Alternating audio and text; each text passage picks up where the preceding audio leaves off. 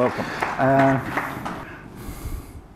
so maybe before starting um, my real presentation, I'm very proud to announce that uh, with uh, Eric Cohen and um, Axel Legon, with the heavy support of uh, Birgit and the AEA, we, we launched the French chapter of the uh, Association of Enterprise Architects. So, well, very proud to, to announce that uh, today. Uh, but we're not so proud because for many years there is no French chapter of the AEA, so we just correct, just fi fix it. Uh, so French people, please um, uh, come to us to, to discuss that, and uh, we will have bring more news, maybe two days and in the a few next weeks and months, just to recruit uh, people for the French chapter. So that, that's it. Okay. Um, I'm starting. Uh, it's called continuous architecture. Uh, just remember that it's uh, really a work in progress because uh, things are changing uh, very rapidly and we are just starting to really think about uh, agility and um, architecture. Okay, uh, just a few words on Arismore. I know you you know Eric, so it's okay. We are we are happy to say that we are the French leader on EA. Uh, just a few words with, about uh, Arismore Academy because we are very proud to certify a lot of people in TOGAF, um, Archimate, and we start uh, thanks to uh, Sylvain to have the, the first uh, IT for IT certified in France. So we are very happy with that. Okay. Uh, so uh, it's quite easy. Why continuous architecture? So we'll try to go fast on that. Uh, I hope you're uh, already convinced that we need to have agility and architecture. So that's what we call continuous architecture.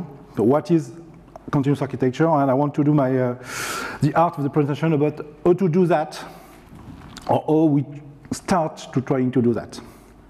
Okay. So what's the problem with the agility and architecture. So I think that this is the, the best picture uh, I found on the web to, to explain the problem.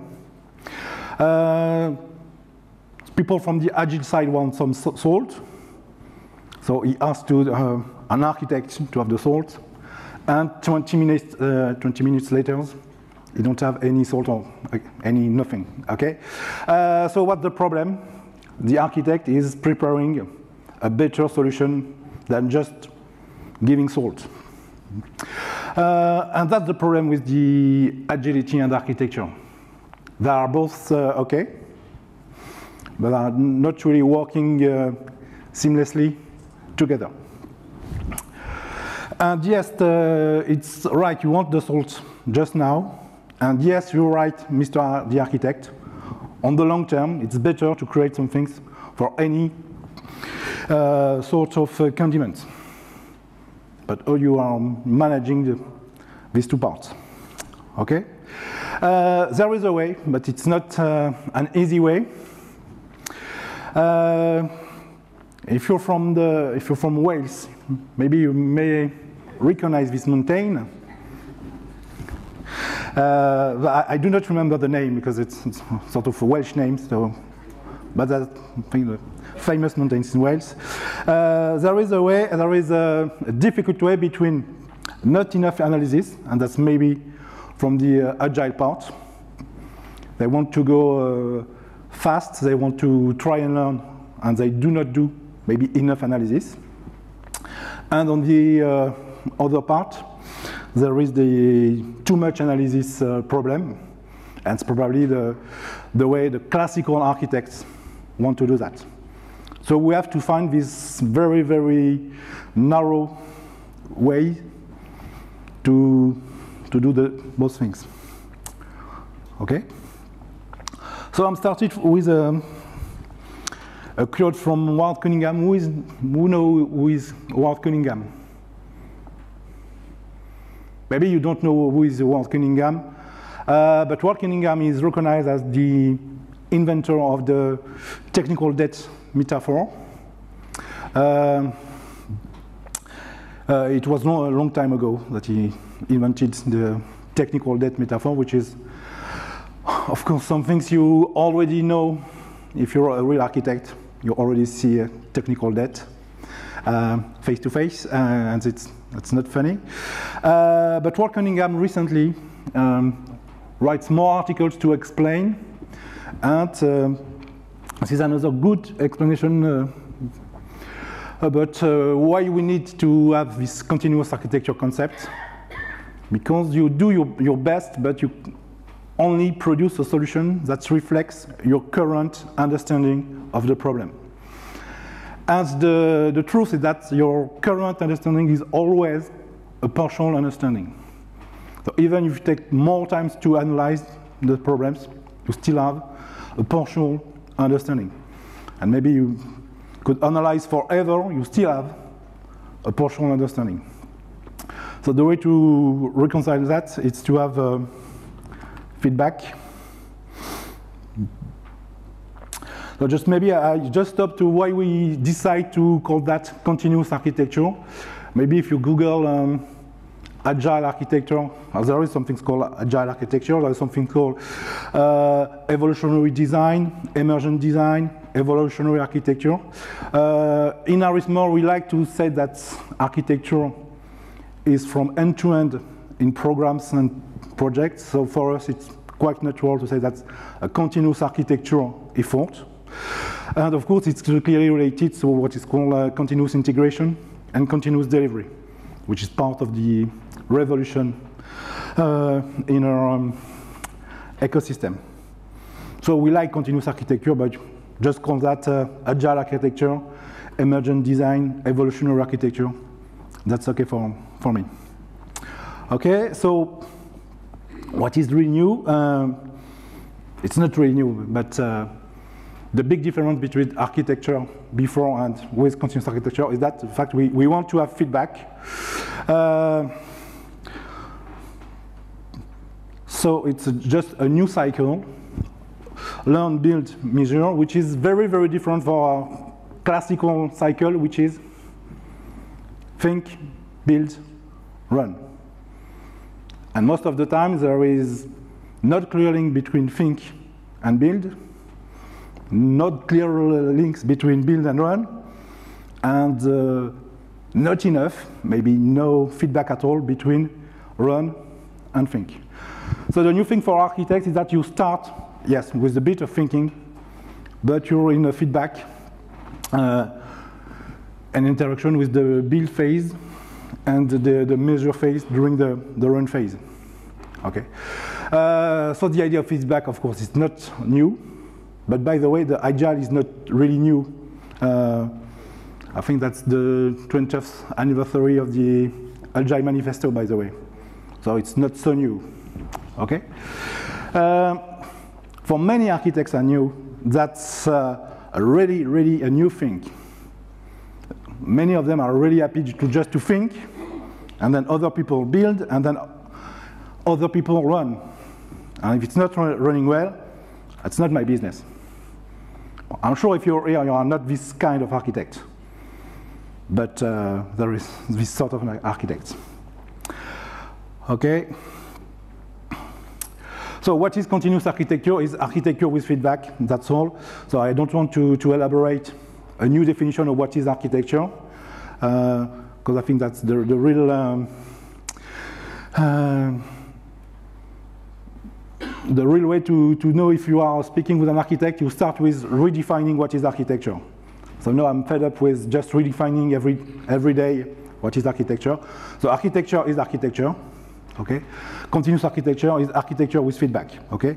That means that you, you start continuous architecture when you stop doing just big upfront design. That means you do all the design before, and then hoping that people build it right and run it right, okay? Um, and the real, real uh, challenge is to have shorter and richer feedback cycles. Uh, shorter than mean probably in months rather than in years. And maybe the more continuous we will be, more in weeks than in months, and maybe one day more in hours than days than weeks, and then hours than uh, uh, days. Uh, but today, just have uh, feedback in months will be a, a, real success for many, many of our contexts. Uh, and the, the, other point is to have real feedback, richer feedback, but not just to take the measure and say, okay, I changed nothing, but I have my report. So I really change, I already reconsidering the solution, the architecture, the design uh, of the solution based on true facts. Or not just the fact that we want to elaborate the right architecture. Okay, so why continuous architecture better? It's feedback. If you understand that uh, feedback is the keyword and my uh, the only concept you have to remember, you can go for more coffee, and so that, that that's all for today. Uh, I will try to elaborate a bit more. Uh, it's better. It's better than what? It's better than no architecture at all, which is a great uh, debate and maybe a great divide with many people from agile world. They consider they don't want to do architecture. Uh, when I discuss with them, uh, many of the times, in fact, they, they, like architecture, and they like to do architecture, but they do not like architects, uh, so which is a real problem for our profession, just to be sure that maybe we don't have the, the right uh, way to, to behave with people. Uh, and it's very, very frequent, maybe 80% uh, of the time, are, the problem is with the architects not with the architecture uh, as a concept and as a activity. Okay, and it's also better than just big upfront design. So architecture with feedback, that's continuous architecture. Okay, uh, there is many, many things changing with that. Uh, so I'm sorry for the real architects or the real classical architect in the room. Uh, if you create a grid architecture, you will not win. You will be on the second place. If you create the good architecture, you will be on the third place. Okay? The new things we have to invent, we have to define, we have to create with other people is the good enough architecture. I think that uh, Eric Cohen from Thales uh, used the, the, the, lean thinking or the, the lean approach for EA. And I said that we, we want just enough architecture and we want, yes, we want just enough architecture to produce the good enough architecture. And I do not know just now how to really define what is the good enough architecture, which is the problem.